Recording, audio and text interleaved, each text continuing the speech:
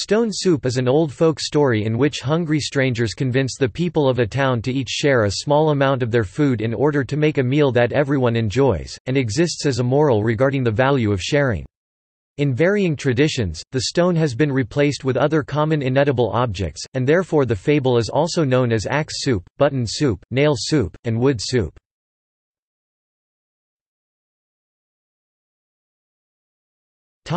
Story Some travelers come to a village, carrying nothing more than an empty cooking pot. Upon their arrival, the villagers are unwilling to share any of their food stores with the hungry travelers. Then the travelers go to a stream and fill the pot with water, drop a large stone in it, and place it over a fire. One of the villagers becomes curious and asks what they are doing. The travelers answer that they are making stone soup which tastes wonderful and which they would be delighted to share with the villager, although it still needs a little bit of garnish, which they are missing, to improve the flavor. The villager, who anticipates enjoying a share of the soup, does not mind parting with a few carrots, so these are added to the soup. Another villager walks by, inquiring about the pot, and the travelers again mention their stone soup which has not yet reached its full potential. The villager hands them a little bit of seasoning. More and more villagers walk by, each adding another ingredient. Finally, the stone being inedible is removed from the pot, and a delicious and nourishing pot of soup is enjoyed by travelers and villagers alike. Although the travelers have thus tricked the villagers into sharing their food with them, they have successfully transformed it into a tasty and nutritious meal which they share with the donors.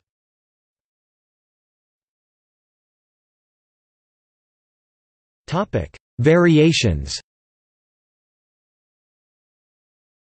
The Eastern European variation of the story which is similar to the Northern European rendition is called axe soup, with an axe as the catalyst. In the French, Hungarian and Russian versions of the tale, the travelers are soldiers returning home.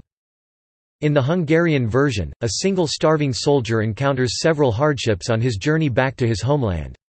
At the end of the story, he sells the rock to the villagers after eating the soup. In Russian tradition, a soldier prepares axe kasha Kasha iz topora Johann Peter Hebel wrote a German version, Der schlaue Pilgrim, The Cunning Pilgrim, 1811, in which a wily pilgrim, allegedly on his way to Jerusalem, tricks a hostess step by step into adding rich soup ingredients to his pebble stones, finally leaving the stones uneaten. In northern European and Scandinavian countries, the story is most commonly known as nail soup.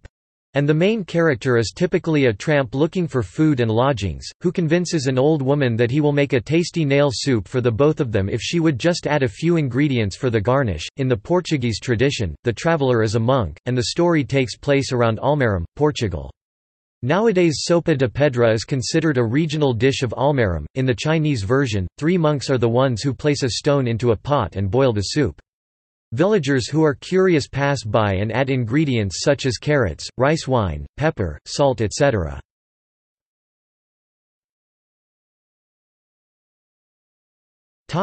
Cultural and historical references In the Aarne-Thompson-Uther folktale classification system this tale and set of variants is type 1548.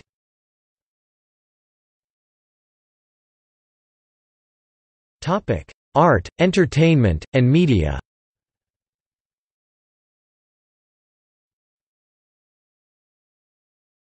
Topic: Stone Soup, like collaborations. There are many examples of projects referencing the stone soup story's theme of making something significant by accumulating lots of small contributions. Examples include Dungeon Crawl Stone Soup a computer game which expanded on an abandoned project using contributions from many different coders. Stone Soup, a children's literary magazine published by the California-based Children's Art Foundation since 1973. Stone Soupercomputer, a computer composed of many small units.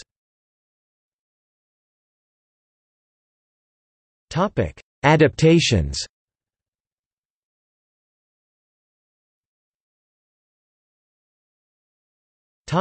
Film The film Fandango 1985 contains a wedding sequence towards the end which builds on the Stone Soup theme. The protagonists need to hold a wedding ceremony, but they lack any funds to do so. Therefore, they set up a folding card table by the main street of a sleepy Texas town, dust it off, and invite passers-by to come to the wedding.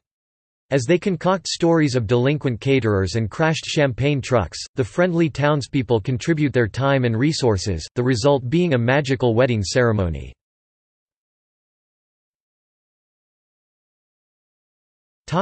Literature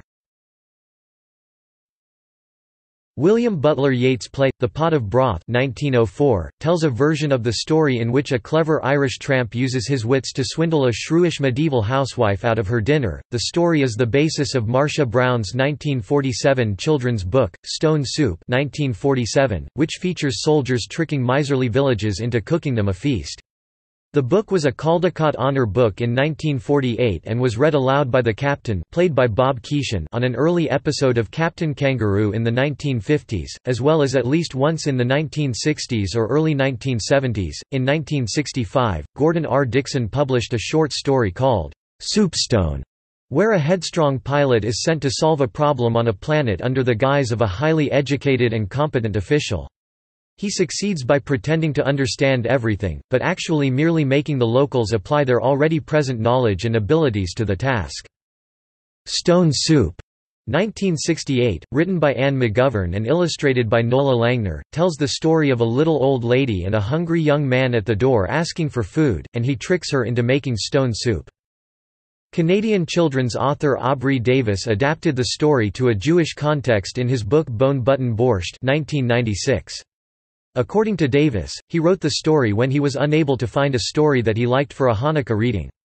Barbara Budd's narration of Bone Button Borscht traditionally airs across Canada on CBC Radio 1's As It Happens, on the first day of Hanukkah.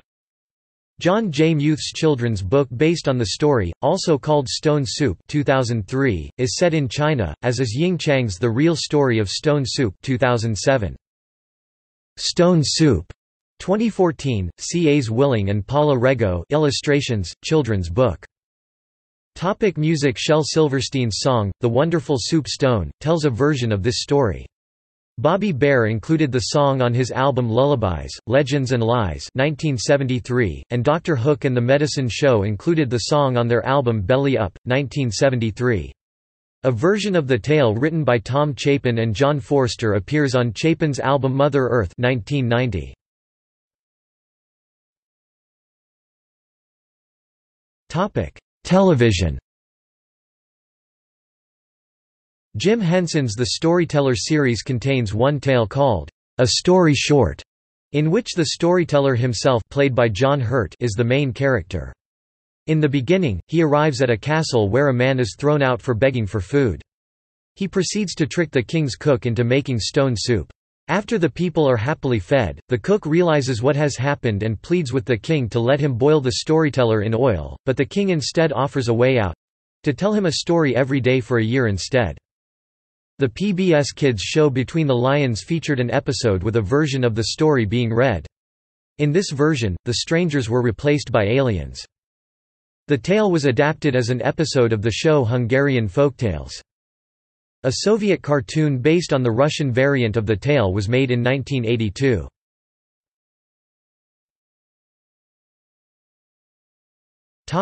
Lucky Iron Fish A contemporary twist on «nail soup» helps relieve real-world iron deficiency anemia in Cambodia. The lucky iron fish is a cast iron bar in the shape of the trey kantrop fish that many villagers consider lucky. When immersed into a simmering pot of soup, enough of the iron dissolves into the liquid to add the critical amounts of a trace nutrient needed to prevent certain types of anemia.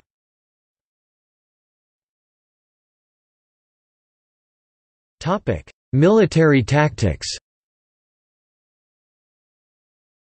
U.S. Army General George S. Patton, Jr. referred to the rock soup method of acquiring resources for attacks in the face of official disapproval by his superiors for offensive operations. In the military context, he sent units forward, ostensibly on reconnaissance missions, to later reinforce them when resistance was met, and these missions eventually turned small-scale probes into all-out attacks. He notably did this during the Battle of Sicily, in the advance on Palermo, and again in the campaign in northwest Europe, notably near Metz when his Third U.S. Army was officially halted during Operation Market Garden.